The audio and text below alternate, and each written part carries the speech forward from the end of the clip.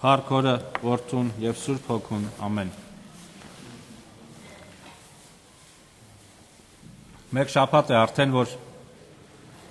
մեր եկեղեցու կանոններով մենք գտնվում ենք մեծ պահքի մեջ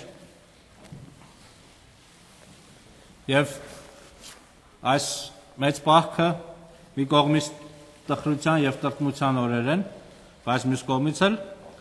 ուրախության օրեր են։ Հեսա տեսնենք ինչպես է սա։ Այսօր կոչվում է արտաքսման Կիրակի եւ եկեղեցին հիշեցնում է մեզ այն պատմությունը, որ երբ որ Ադամն ու Եվան մեղ գործեցին, Տեր Աստվածը արտաքսեց նրանց դրախտից, Եդեմի պարտեզից, որ երկրի վրա այդ ժամանակ դրախտը այդտեղ էր գտնվում։ Եվ նրանք պետք է տարապանքով, չարչարանքով իրենց կյանքը այսպես ապրեին, Բայց ամենամեծ ողբերգությունը նա էր, որ երբ որ նրանք մեղ գործեցին եւ արտաքսվեցին, Աստված կտրվեց կապը նրանց եւ Աստծո միջև, որ նշանակում էր նրանք մահը ժառանգեցին, որովհետեւ կյանքը դա Աստծո հետ կապ ունենալն է։ Եվ մենք հիմա ապրում ենք, բայց ավելի շուտ մենք կարող ենք ավելի ճիշտ, եթե ավելի ստույգ գտնվենք, կարող ենք ասել մենք հիմա մեռնում ենք, ոչ թե ապրում ենք։ Բայց եւ այսօր եկեղեցին այսօր ասելով նկատում եմ մեծ պահքի շրջանին հատուկ փագում ավարակույրները ցույց տալով որ մենք կյանքի աղբյուրից կտրված ենք կյանքի աղբյուրը աղբյուրը Հիսուս Քրիստոսն է չէ ինքը ասեց որ ուտի մարմինը եւ խմի մարմինը կյանք կունենա եկեղեցին ասում է որ առանց դրա մենք կյանք չունենք եւ հիմա փագ այդ բարակույրը եւ մենք հաղորդություն չենք ստանում գնում ենք եկեղեցի բայց հաղորդություն չենք ստանում մեր եկեղեցի գնալու իմաստը հաղորդություն ստանալն է պատարակին մասնակցելը բայց հաղորդություն չի տալիս հիշեցնելով մեզ, որ մենք առանց հաղորդության կամ առանց Հիսուս Քրիստոսի հետ միավորվելու մենք կյանք չունենք։ Մենք հիմա չենք ապրում, այլ մեռնում ենք։ Այս առումով տխուր է Բախի շրջանը։ Բայց կա նաև Բախի ուրախալի կողմը, որտեղ Հիսուսը հիշում եք, ասում էր, երբ որ ծոմ ես պահում, Բախ ես պահում, տրտմալի ձերեսով մի մանարի, հա, ուրախ զվարթ երևա, թող ոչ մեկ չիմանա, որ դու Բախ ես պահում։ Սա այս մասներ, որ սա մի ժամանակ է տալիս մարդկանց Սուրբ եկեղեցին, որպեսզի մարդիկ իրենց առօրեական այդ հոգսերից մի քիչ թեթևանան, այս միշտ չուտելը կամ չգիտեմ ինչ որ հաճույքների ձրկվելը սրա իմաստն ունի, որ ավելի հոգևոր բաների մասին մտածեն, ապաշխարության շրջանա տալի, որպեսզի մարդիկ իմանալով, որ իրանք առանց Քրիստոսի կյանք չունեն, առանց Աստծո կյանք չունեն, այդ կյանքին ձգտեն։ Եվ այս առումով շատ ուրախալի է, մենք մեր մեղքերը ճանաչելով, ինքնակնության այս շրջանը անցնելով, մեղքերից հրաժարվում ենք, մեղա ենք գալիս, Աստված մեզ ներում է մեր մեղքերից եւ սա շատ ուրախալի բան է։ Եկեղեցին ժամանակ առ ժամանակ պահ կա դնում, որpիսի մենք քննենք մեր անձերը եւ քննելով ոչ միայն քննենք, քննելուց հետո հրաժարվենք մեր սխալներից, մեր մեղքերից, որpիսի ել ավելի մոտենանք Աստծուն, ել ավելի համոզվենք մեր փրկության մեջ։ Այս առումով ուրեմն պահքի շրջանը ուրախության շրջանա, որ մենք կարող ենք հրաժարվել մեր մեղքերից եւ մեր թերություններից, մեր սխալներից, այն բաներից, որ մեզ կտրում են այդ կյանքի աղբյուրից, այսինքն Աստծուց, հա? Այս առումով ուրեմն սա շատ մեծ ուրախություն է այս պահքի շրջանը եւ մեծ պահքի շրջանը, որ եկեղեցին դրել է մեր մեր արժեվ։ Եվ պահքի շրջանի ընթերցումներն էլ շատ հատուկ ընտրված ընթերցումներ են, որոնք օգնում են մարդուն որպիսի հոգևոր բնագավառը իր էության ուրեմն զարգացնի։ Այսօր պետք է կարդանք եկեղեցու դրված այդ ընթերցանության հատվածներից, որ եկեղեցին դրել է մեր արչև եւ տեսնենք ինչ է ուզում եկեղեցին մեզանից։ Մենք որպես քրիստոնյաներ հավատում ենք, որ մարդը ոչ միայն մարմինը ունի, հապա նաև հոգի ունի։ Եվ մենք որպես քրիստոնյաներ հավատում ենք, որ մեր այս մարմինը ժամանակավոր է, բայց մեր հոգին հավիտենական։ Դրա համար եկեղեցին ասում է, որ ժողովուրդ ջան, դուք հավիտենականի մասին ավելի շատ մտածեք։ Եկեղեցին չի ասում մարմնի մասին մի մտածեք, բայց եկեղեցին հիշեցնում է մեզ, որ հոգս անելով մարմնի մասին, այսպես առավոտվանից իրիկուն մտածելով, թե ինչ է ուտենք, ինչ է հագնենք, այսպես հոգս անելով, տարապելով, մենք շատ քիչ բանի կարժանանանք։ Եթե ինչ որ բանել արժանանանք, ինչ որ հակոստների կամ կերակուրների ճողճող, սրանք բոլորը ժամանակավոր են։ Միջդեռ եթե մենք հոգս անենք մեր հոգու մասին, մեր հոգու փրկության մասին, մենք հավիտենական բաների մասին մտածած կլինենք։ Դրա համար եկեղեցին մեզ առաջարկում է մեզ որպես քրիստոնյաներ առաջարկում է որպեսզի մենք մեր այս բախքի շրջանում հոգևոր բաների մասին շատ մտածենք։ Գիտեք ինչի է այս սնունդը այսպես բանանում արկելում շատ բաներից։ Հիմա մի քիչ ուրիշ է, այն ժամանակ որ այս պահքը դրվում էր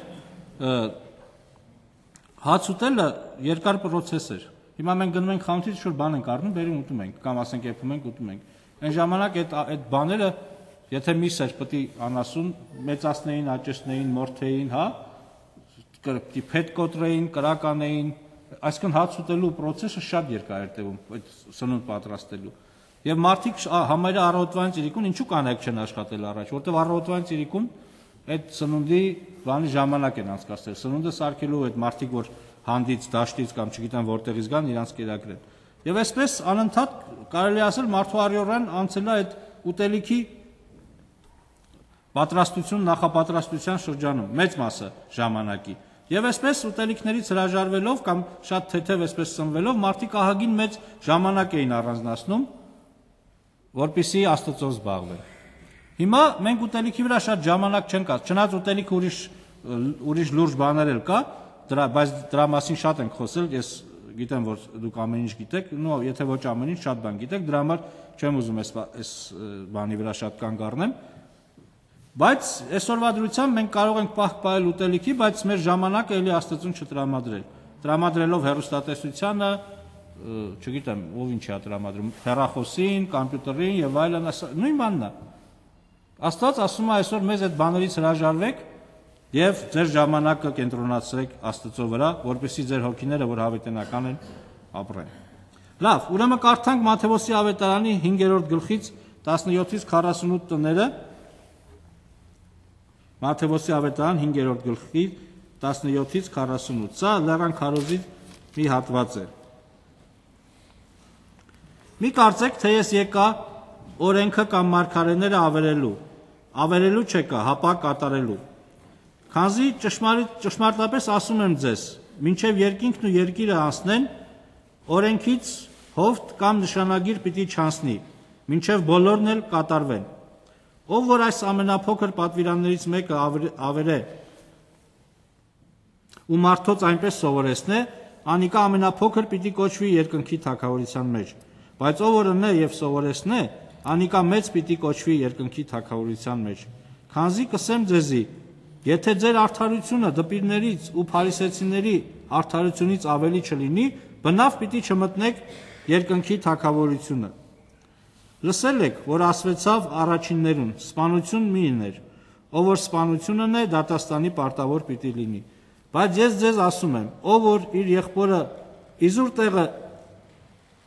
սրտողի դատաստանի պարտավոր պիտի լինի։ Ով որ իր եղբորը հիմար ասի, ատյանին պարտավոր պիտի լինի։ Ով որ իր եղբորը անմիտ ասի, գեհենի կրակին պարտավոր պիտի լինի։ Ուրեմն, եթե քո ընծած սեղանի վրա բերես Եվ հոն միտքդ գա թե քո եղբայրդ քեզի դեմ բան մունի, հոն ձգենցած սեղանի արջև, գնա եղբորդ հետ հաշտվե ու յետքը եկուր, որ քո ընծան մատուցես։ Քո ոսոխիդ հետ շուտով միաբանվիր, քանի որ նրա հետ ճամփի մեջ ես։ Չլինի թե քո ոսոխդ քեզ դատավորին մատնի եւ դատավորը դահճին եւ բանտը ձգվես։ Ճշմարիտ եմ ասում, ձեզ պիտի չլես անկե, ինչեւ որ վերջին նակարակիտը չվճարես։ Լսել եք, որ ասվեցավ. շնություն մի ներ, բայց ես ձեզի ասում եմ, ով որ կնոջը նայի նրան ցանկանալու համար, արդեն իր սրտի մեջ շնություն արես նրա հետ։ Արդ եթե քո աշկը քեզ գայթակղեցնում է, հանիր նրան եւ քեզանից գցիր։ Վասնզի աղեք է քեզ, ավելի լավ է քեզ, որ անդամներիդ մեկը կորսվի, բայց դու բոլոր մարմինը դժողքը չձգվի։ Եթե քո այս ձեռքը քեզ գայթակղեցնում է, կտրի նրան եւ քեզանից հեռու վանիր։ Վասնզի լավ է քեզ, որ անդամներիցդ մեկը կորսվի եւ քո բոլոր մարմինդ դժողքը չձգվի։ Իրավ ասվեցավ, ով որ իր կինը արցակե, թող նրան արցակման թուղթ տա։ Բայց ես ձեզ ասում եմ, ով որ իր կինը արցակի, առանց պորնկության պատճառի, ինքը պատճառ կլինի նրա շնություն անելուն։ Եվ որ անարցակվածը առնե շնություն կգործե։ Դարձյալ լսել եք, որ ասվեցավ առաջիններուն. սուտ երթում միներ, ապա ըրացը երթումները վճարե տիրոջը։ Բայց ես ձեզ ասում եմ, ամենևին երթում մի ինեք, ոչ երկնքի վրա, որ Աստծո աթոռն է, եւ ոչ էլ երկրի վրա, որ նրա ոտքերի պատվանդանն է, ոչ էլ Երուսաղեմի վրա, որ մեծ թակավորի քաղաքն է։ Ոչ էլ քո գլխուդ վրա երթում ունես, վասնզի չես կարող մեկ մաս ճերմակեցնել կամ սևացնել։ Հապա ձեր խոսքերը ձեր խոսքը լինի այոն այո եւ ոչը ոչ, եւ սրանից ավելին չարից առաջ կգա։ Լսել եք, որ ասվեցավ. աչքի տեղ աչք եւ ատամի տեղ ատամ։ Բայց ես ձեզ ասում եմ, չարին հակառակ մի մնա։ Հապա եթե մեկը մի ապտակ զարկի քո աչ ծնոտիդ, դարձրու նրան մյուսն էլ։ Եթե մեկը ուզե քեզի հետ դատ վարել եւ քո շապիկը տառնել, տուր նրան քո վերարկուտել։ Եվ ով որ քեզ պահակ բռնե եւ մղոն մի մղոն ճամփակշի գնա նրա հետ երկու։ Քեզանից ուզողին տուր եւ երես մի դարձներ նրանից, որ ուզում է քեզանից փոխ առնել։ Լսել եք, որ ասվեցավ. քո ընկերդ սիրես եւ քո թշնամի տատես։ Բայց ես ձեզ ասում եմ, սիրեցեք ձեր թշնամիները, օրհնեցեք ձեր անիծողները, բարի կարեք նրանց, որ ձեզ ատում են, եւ աղոտ քարեք նրանց համար, որ ձեզ չարչարում են եւ հալածում են որպեսի ձեր երկնավոր հոր որդիները լինեք, վասնզի իր արևը ծակեցնում է թե չարերին եւ թե բարիների վրա, եւ անձրև է ղրկում թե արդարների եւ թե մեղավորների վրա։ Վասնզի եթե դուք ձեզ սիրողները սիրեք, ինչ առավելություն կունենաք, չէ՞ որ մաքսավորներն էլ նույնը անում են։ Եվ եթե միայն ձեր եղբայրներին բարև տաք, ինչ ավելի կնեք ուրիշներեն, չէ՞ որ մաքսավորներն էլ նույնն են անում։ Ուրեմն դուք կատարյալ եղեք, ինչպես ձեր երկնավոր հայրն էլ կատարյալ է։ Սկզբից Հիսուսը իր խոսքը սկսեց նրանով, որ եթե օրենքի փարիսեցիների եւ դպիրների արդարությունից ավելի չլինեք, երբեք չեք մտնի երկնքի արքայություն եւ այս հատվածը Լեռան Քարոզի այս հատվածը ավարտում է նույն մտքով, որ ինչ առավելություն կունենաք, եթե փարիսեցիների եւ մաքսավորների նման անեք, ապա դուք պետք է բան անեք, ավելի առավել լինեք։ Տեսեք, ժողովուրդ ջան, Հիսուս ասում է՝ մի կարծեք, թե ես եկա օրենքը կամ մարգարեները ավերելու։ Ավերելու չեկա, հապա կատարելու։ Հետո ամբողջ այս հատվածը օրենքից է խոսում, ասում է օրենք ասում էր սենց, բայց ես ասում եմ նենց։ Օրենք ասում էր սենց, ուշադիր եղաք։ Սկզբից ասում է չեկա օրենքը ավերելու, եւ ասում է՝ լսել եք, որ ասվեցավ, սպանություն մի անեք։ Բայց ես ձեզ ասում եմ սենց։ Ասում է՝ լսել եք, որ ասեց կնոջը արցակի արցակման թունտու, բայց ես ասում եմ չարցակես։ Լսել եք, որ ասվեցավ շնություն մի արեք, բայց ես ձեզ ասում եմ ուրեմն կնոջը մի նայ մի ցանկացեք ձեր սրտի մեջ լսել եք որ ասվեց աշկի տեղ աշկ ատամի տեղ ատամ բայց ես ձեզ ասում եմ եթե աշտնոտի թարվածում են ծախը ծախը եւ այսպես ամբողջ ուրեմն այս բանը սա է ո՞նց հասկանանք այս հատվածը մի կողմից Հիսուսը ասում է ես օրենք հավերելու չեկա ապա կատարելու մյուս կողմից ինչ որ օրենքում գրված է ինքը ասում է ես ձեզ սենց է գրված բայց ես էլ ձեզ սենց եմ ասում Ուրեմն, որպեսզի հասկանանք, պետք է հասկանանք, թե ինչ էր օրենքը։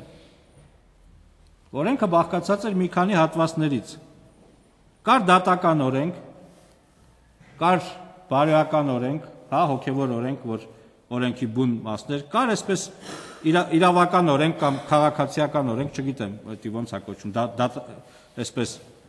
եւ կար չգրված օրենք եւ լիքը բաներ կար, որ այս օրենքի մեջ կար։ Հիսուսի ժամանակներում իրավունքի այս օրենքը արդեն վերացել էր։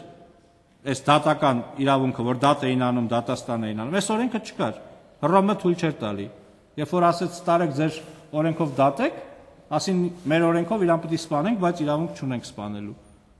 Ասում է մեր օրենքը թույլ չի տալի մեզ մարդ սպանելու, բայց իրանց օրենքը թույլ էր տալիս իրաց մարդ սպանելու։ Եթե հիշում եք, շաբաթօրը մարդը փետ էր հավաքում, Մովսեսը ասաց՝ «Բերեք քարկոծելով սպանեք»։ Օրենքը հատուկ հրահանգում էր սպանել, ոչ թե թույլ չէր տալի։ Սա նշանակում է այդ ժամանակ Հռոմը արգելել էր իրանց իրանց օրենքով շարժվեին։ Ահա թե ինչ է նշանակում մեր օրենքը թույլ չի տալի մեզ մարդ սպանելու։ Այսինքն այս իրավական օրենքը վերացել էր։ Հռոմը վերացրել էր։ Իրանք չէին կարող դատաստան անել,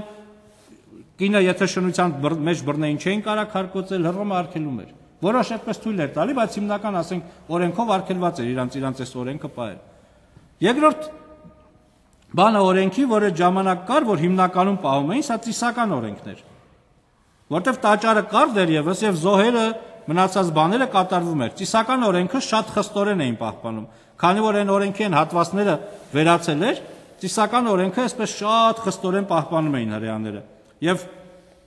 շատ այսպես հետեւում էին։ Հանկարծ մեկը շափաթը չխախտի, հանկարծ մեկը այսպես օրենքը չխախտի եւ ծիսական օրենքը այսպես շատ կարեւոր էր, բայց Հիսուսը գիտեր, իրանք չգիտեին, որ սա էլ է վերանալու։ Մի քանի տարի հետո, երբ որ տաճարը քանդվեց, Տիսական օրենքն էլ վերացավ։ Հիմա հрьяաները իբր թե օրենք են պահում, բայց ոչ մեկը օրենք չի պահում։ Որտեվ օրենքը պահելու համար պիտի զոհ մատուցեն, զոհ չեն մատուցում։ Պատարակը չկա, վերացել է, որտեվ տաճարը չկա։ Մինչև տաճարը չլինի, աշտամունքի տեղը, տարբեր տեղեր ա եղել աշտամունքի, վերջում Երուսաղեմում այդ Սողոմոնի կառուցած տաճարը եղավ, Եթե դրանից բացի ուրիշ տեղ իրանք զոհ մատուցեն կամ ուրիշ տեղ աստծուն պաշտեն, սա օրենքի օրենքի խախտում է եւ մեծ խախտում է։ Դրա համար այսօր հրեաները օրենք չեն պահում, ինչ են անում, թլպատություն են անում, այդ թլպատությունը մինչև օրենքն էլ կար։ Մինչև Մովսեսի տված օրենքը հա, Աստված թլպատությունը արդեն տվել էր Աբրահամին։ Հա? Ուրեմն թլպատություն անելով իրանք օրենքը չեն պահում։ Ամբողջ հրեա կրոնական ազգը օրենքը խախտում է այսօր։ Չէր կարա պահի օրենքը։ Ուրեմն օրենքի այս ասպեկտները Հիսուսը սրանք այս բոլոր բաները պետք էին այն ժամանակ։ Ասում է օրենքը մեզ դաստիարակ եղավ Պողոս Արաքյալը։ Եգիպտոսից դուրս եկած ժողովուրդ էր։ Եգիպտոսից դուրս եկած ժողովուրդը ստրուկ էր, որոնք օրենք չգիտեին, անօրեն ժողովուրդ էր։ Ստրուկները ինչի են նայում, նայում են իրանց տերը իրանց ինչ պետք է ասել, էլ իրանց օրենքը։ Չէ՞։ Եվ շատ հարմար է անորեն երկրում ղեկավարել բռնապետի համար։ Օրենքով քեզ թույլ չի տա, թույլ չի տա լեզբանը, բայց քո տերը ասում է արա, դա իրան քո համար օրենք է դառնում, հա? Եվ անորեն երկրներում միշտ ինչ որ մեկն է ղեկավարում, ոչ թե օրենքը։ Այսօր այս բանը լավ ինքա արկելում է, արկելվում է, եկուս թույլ է տալիս, թույլ է տալիս, կամ ոմանց թույլ են տալիս նույն բանը անելու, ոմանց թույլ չեն տալիս, որտեղ օրենք չկա։ Անօրենությունը սա է։ Մի հոգի է որոշում, հա? Օրենքը ինքն է։ Լյուդովիկոս 14-րդը ասում էր պետությունը դա ես ինքս եմ։ Այսինքն ինքը ոնց ասեր, նես պիտի կատարվեր։ Սա ուրեմն այսպես բանա, եւ ստրուկները այս բանի մեջ լինելով իրանք ընդհանրապես օրենք չունեին։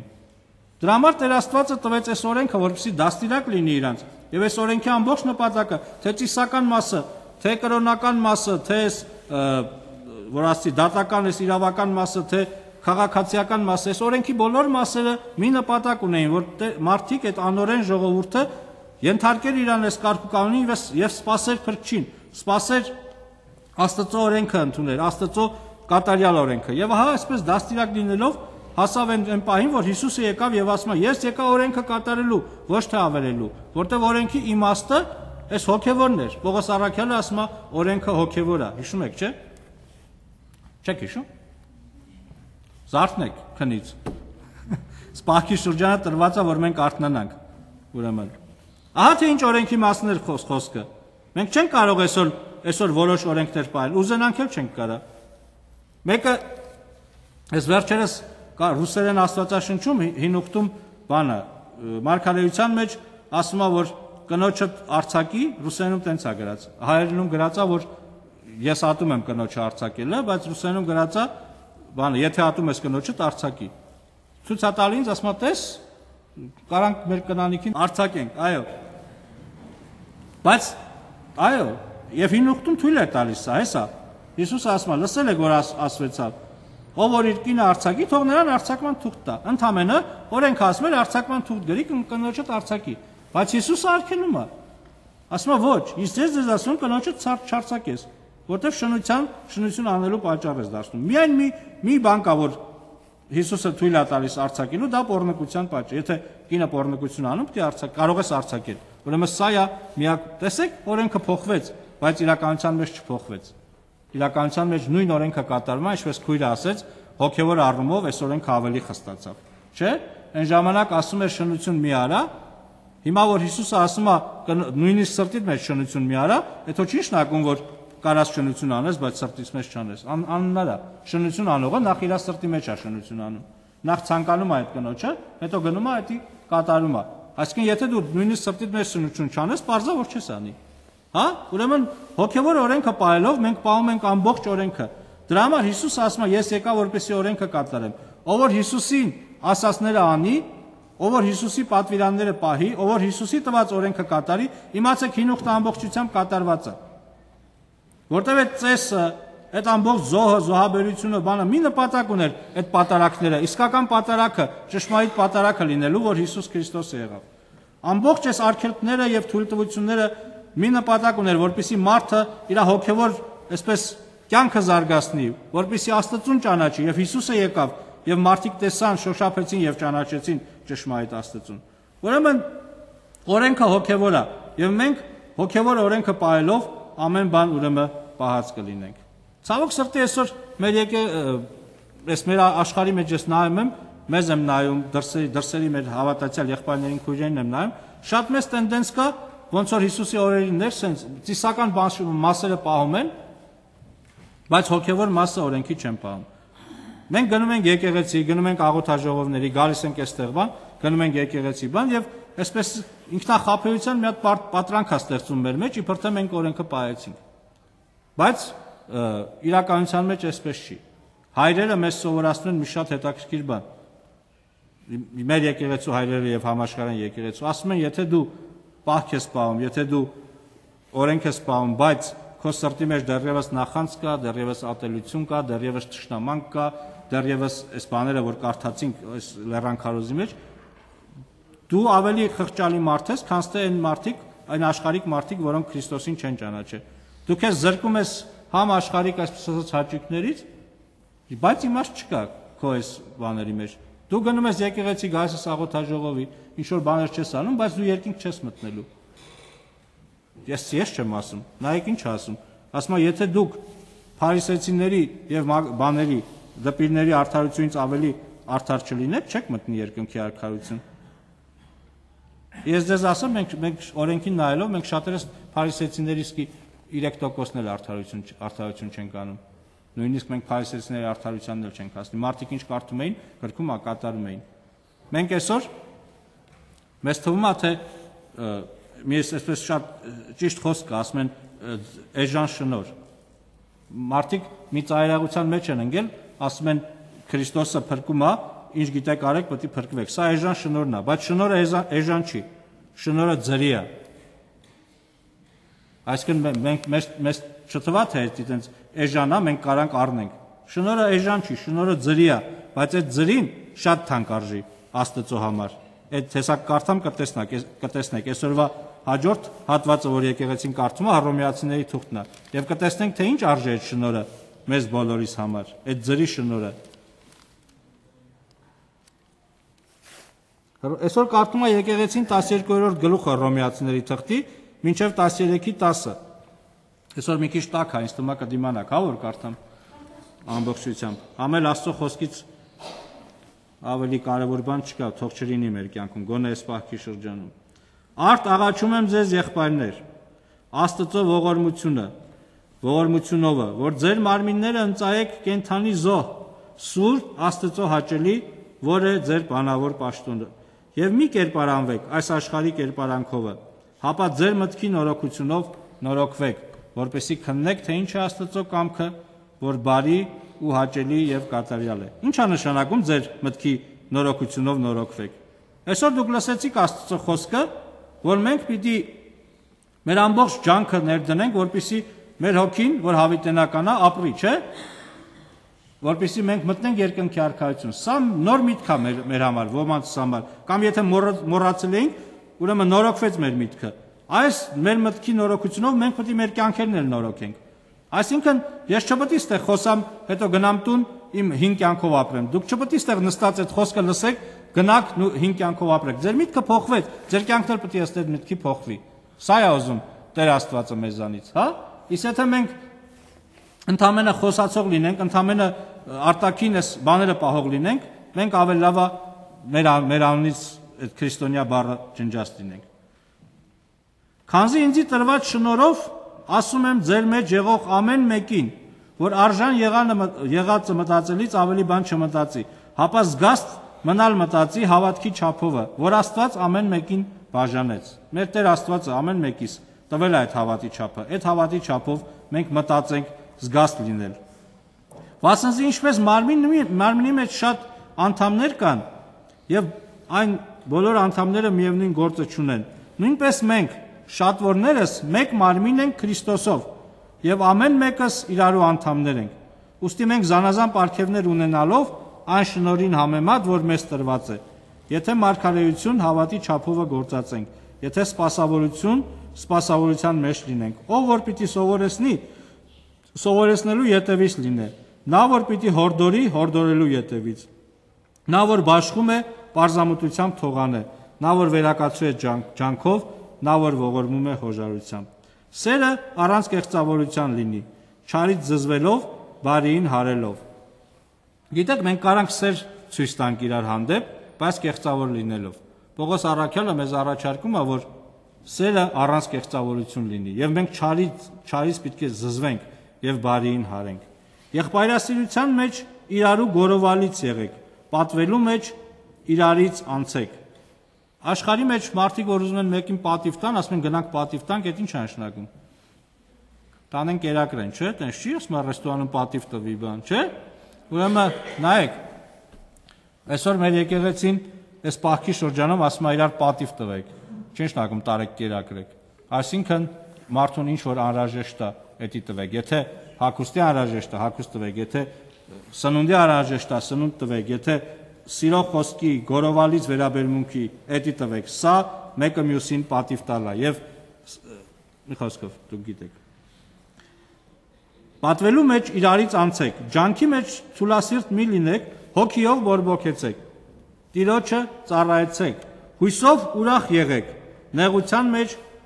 համբերեցեք։ Այն հույսը, որ մենք այս նեղությունը քաշում ենք եւ համբերում ենք, որպիսի հավիտենական կյանք մտնենք, սա մեզ պիտի ուրախացնի։ Դրա համար ասում հույսի մեջ ուրախացեք։ Նեղության մեջ համբերեցեք, ստեպ աղոթքի կեցեք։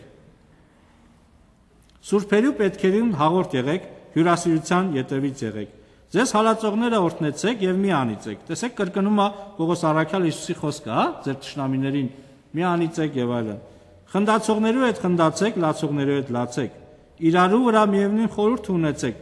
ամբարտավանություն մի արեք, հապա խոնարներուն հետ խոնարեցեք։ Այսինքն եթե տեսնում ես եղբայրդ քույրդ խոնար է, մի հպարտացի իր վրա, հապա դու էլ խոնարվի իր հետ, սա է ասում։ Հա, որտեղ մարդիկ ոնց որ ասած այսօր դες կոպիտ խոսք ասում, ասածկած էշեն մանգալի նալերը քաշեն, չէ՞։ Մենք շատ հաճախ մենք այդ նույն խայսատներով, նույն սովորություններով քրիստոնեական համայնքի մեջ ենք ապրում։ Տեսնում ենք եղբայրը քույրը խոնարհ բանը այդպես չի կծում մեզի չի բանում, ուզում ենք դրա վրա վեղվեք ալենք, բայց մենք ավելի պիտի խոնարհվենք։ Չարության փոխարեն մեկին չարություն մի հատուցանեք։ Բոլոր մարդկանց արժև բարիք ընելու, բարի բաներ ընելու հոգ տարեք։ Իշքան որ հնարավոր է ձեզ ամեն մեկի հետ խաղաղություն ունեցեք։ Սիրելիներ, վրեժխնդրություն մի արեք ձեր անձերի համար, հապա բարկությունը տեղի տվեք։ Վասնզի գրված է. վրեժխնդրությունը իմս է, ես պիտի հատուցանեմ, ասում է Տերը։ Ոստի եթե քո թշնամիտ անոթել անոթացել է կամ սովածացել է, հաստուր նրան, եթե ծարավ է ջուր տուր նրան, քանզի այս անելով նրա գլխի վրա կրակի կայծեր պիտի դիզես։ Չարին չարից մի հաղթվիր, հապա բարիով հաղթի չարին։ Չեմ ուզում ամեն ամեն նախադասությունը մի հատ 2-3 ժամվա քարոզի նյութա, ես ուղակի արագ կարդում եմ, հույս ունենալով, որ տուն գնալով նորից կկարդանք, սա հստակ հրահանգներ, հստակ պատվիրաններ է, թե մենք որպես քրիստոնյաներ ոնց պիտի մեզ պահենք այս աշխարհի մեջ։ Սա եթե մենք անենք, օրենքը կկատարենք, հա? Ուրեմն, սա շատ կարևոր է, ուրեմն գնացեք նորից լեռան քարոզը կարդացեք, այս հատվածը կարդացեք, որ եկեղեցին առաջարկում է։ Ամեն մարդ իր վրա եղած իշխանությանը թող հնազանդի։ Վասնզի չկա իշխանություն, որ Աստծուց չլա, եւ նրանք, որ կան, Աստծուց կարգված են։ Մենք շատ հաճախ մեր իշխանություններից դժգոհում ենք եւ բողոքում ենք, բայց հաստատ իմացեք, Աստված երկնքից նայում է մեր սրտերին։ Հիմա Աստված երկնքից նայում է մեզ, վաղը ընտրությունա, չէ՞։ Աստված ինչ նայում է մեր սրտերին, ինչի որ մենք արժանի ենք, դրան է տալու։ Եթե մենք բողոքում ենք, ասում ենք սխալ է բանը, իմացեք, որ մենք ենք սխալ։ Եթե մեր իշխանությունը անօրեն է, մենք ենք անօրեն։ Դրա համար է Աստված ցես տալի։ Եթե մեր իշխանությունը կաշխարակերա, մենք ենք կաշխարակեր դրա համար։ Աստված երկնքից նայում է, տենում է ժողովրդին, ժողովուրդը իրան համապատասխան իշխանություն է տալիս։ Այս առումով ցանկացած իշխանություն Աստծո է տրված։ Եթե ժողովուրդը փոխվի, եւ շատ լավ է, պահքի շրջանը, եթե մենք փոխվենք, Աստված խոստանում ասում է, եթե իմ անունով կանչված ժողովուրդը փոխվի, հա? Եթե մենք փոխվենք, ուզենանք Աստծո, բայց քրիստոնյանունը, որ մեր վրա է, Պարապտեղը չլինի, դատարտեղը չլինի եւ մենք փոխվենք եւ որպես քրիստոնյա ապրենք, հավատացնում եմ ձեզ, մեր իշխանությունները կփոխվեն։ Կամ այդ իշխանավոր մարդիկ կփոխվեն, որպես մարդ կամ Աստված իրանց կփոխի ուրիշ մեկին կդնի։ Աստծո համար անհնար բան կա։ Չկա։ Ոչ անհնար բան կա, առավել եւս դժվար բան չկա Աստծո համար։ Ամեն բան Աստծո համար հնարավոր է, բայց մենք պիտի փոխվենք։ Լավ, այս իշխանության հատվածը թողեմ եւ անցնենք առաջ։ Բնավ մեկում պարտական մի գտնվեք, միայն մեկս մեկ սիրելու։ Վասնզի ով որ իր ընկերը սիրում է, օրենքը կատարում է։ Վասնզի այն մի շնանալը, մի սպանելը, մի գողանալը, սուտ վկայություն մի անելը, մի ցանկանալը եւ ուրիշ ինչ պատվեր որ կա, բոլորը այս խոսքի մեջ է բովանդակվում։ Քո ընկերը սիրես, քո անձիդ պես։ Այս նույն խոսքերը, որ Պողոս Արաքյալի նամակում կարդացի, ասում է Հիսուսը։ Հիշում եք, ասում է ո՞րն է, այն որ դպիրը հարցում է ո՞րն է ամենակարևորը օրենքի մեջ։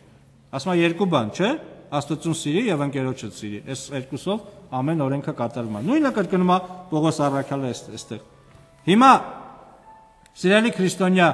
եղբայրներ եւ քույրեր, ով է մեզ ընկերոջը իր անձի պես սիրում։ Եթե մեկը իր անձի պես իր ընկերոջը սիրում է, օրենքը պահում է։ Իսկ եթե դու քո ընկերոջը չես սիրում, ապա սրտիդ մեջ ատում ես իրան, գախնի ձևերով, բամբասում ես, ուզում ես ամեն ինչ անես, որ իրա այսպես դրական կերպարը մյուս քույրերի եղբայրների մոտ բացասական դարձնես,